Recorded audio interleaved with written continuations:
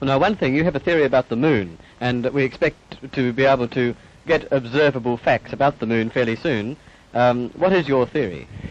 Well, uh, it is by now rather more than a theory. Uh, 10 or 11 years ago, I stated to various scientists that the moon is not a piece of rock, but it is a plasma, a plasma phenomenon, a cosmic plasma, uh, and that this fact will eventually be confirmed. I made certain predictions which were already confirmed in 1958, and the situation now is coming close to a complete confirmation.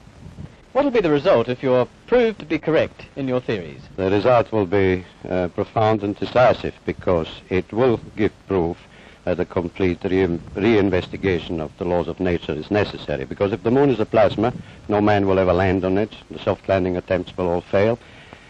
That means that the mass of the moon is less, far less than is currently assumed. It's in a different state of energy and it has far less mass. That means there is no more explanation for the tides. If the moon, for example, had only a thousandth part of its current mass, then the tides would only be two inches high under conventional theories instead of sometimes 14 feet.